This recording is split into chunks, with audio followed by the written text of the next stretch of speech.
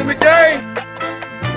Looking at my fragrance collection, how well do we know the house of Ormonde Jayne? I've gotten my experience with samples of Ormonde Jayne and I had a full bottle that I seem to have misplaced somehow, but there's some powerful, super unique scents. What was it, black gold? That was a banger. But when you think about all these niche houses, one that I feel that doesn't get the notoriety that it may deserve is Ormonde Jayne. It seems to be more of like the niche snob or the very deep reviewers in the fragrance world appreciate the Ormonde Jayne fragrances. So I requested two fragrances from Scentbird, from Ormonde Jayne that I haven't heard of. One's a little bit more femme because I've been having some of the shorties like, yo, Cuba, show some of the women some love. And that might be something I'm gonna be looking forward to in the future. Like my 0.138 percentage of female demographic deserves a little notoriety and some ball spraying as well. But let's roll my fucking music so we can check out two fragrances from Ormonde Jayne and see if maybe we find a hidden gem.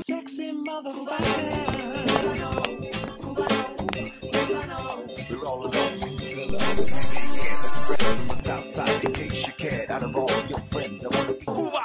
Blessing one of my beautiful peoples, you know who it is, it's your boy, C to the U to the B to the A. Today's video is sponsored by Scentbird. I did request these fragrances. They just seemed a little bit unique. This was one of the lists that they provided to me of fragrances that were incoming and I was like, hmm, let's check these two out. I breezed through the notes real quick. One of them just seemed automatically to lean feminine and although the notes really won't represent how that shit's gonna smell on your skin, I'm like, worst case scenario, it's a female fragrance that smells sexy. My chick could wear this shit and I can put shorties on on my channel. Or it looks femme, but it really plays off amazing off dude. Fragrances are essentially genderless. Like my old man used to wear female fragrances because it smelled phenomenal on him. So all that gender bullshit when it comes to fragrances.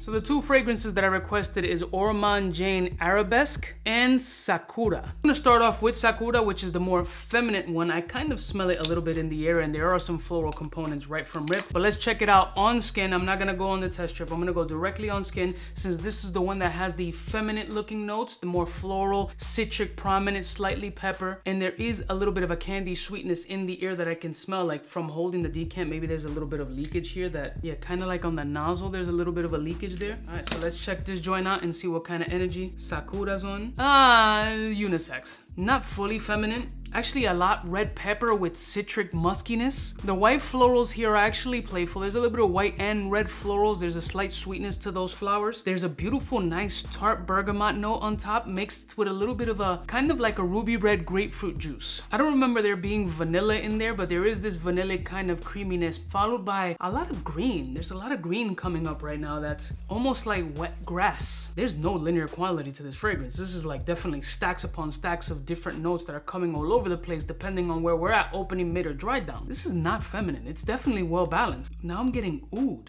like oud mixed with like some cuminish kind of note. Let's pop up the notes real quick. All right, so it's green notes, bergamot, lime, pink pepper. I'm picking up coriander, mandarin orange. That's where that sweet florals is coming in because it's cherry blossoms, freesia, water lily, violet rose, cedar, musk, ambergris, vanilla, tonka bean. This is actually pretty, artsy, not panty dropping, not mass appeal, not clubby, office safe 1000%. But on the feminine aspect, this smells more of like a summertime breezy summer dress on a shorty type smell. Very inviting, could absolutely be pulled off for a dude, has a lot of unisex quality in it. I can see the femininity as in this midsection slash dry down, there's more florals really popping up. The cumin or that oudiness is kind of reducing itself just a little bit, but that citric component always stays throughout. It's nice. I would rate this joint like a good six. Doesn't blow me away, but it is very pleasant. But let's jump over to the arabesque one, which is the more masculine one. This is the one that I'm truly interested in. Mm, rose oud, get that. Mm, kind of rich,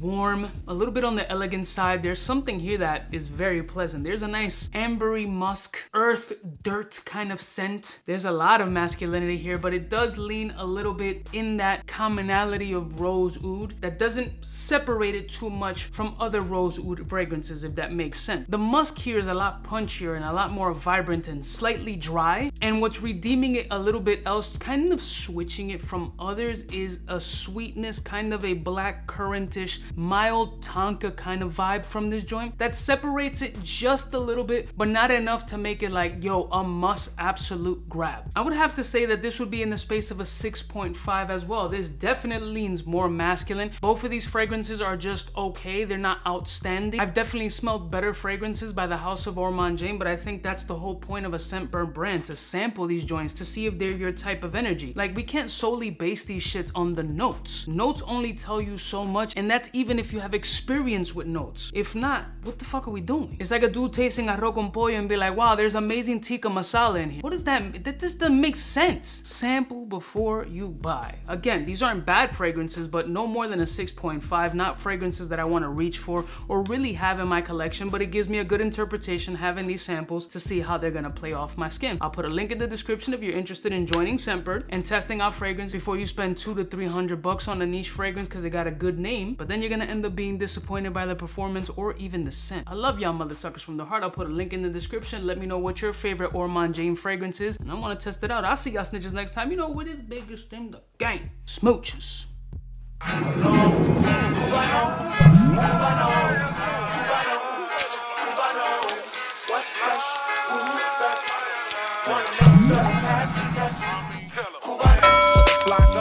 Money folder, Motorola slide attack when it's time to call back. For the rough, rugged, and raw way, this nigga J, it's a game.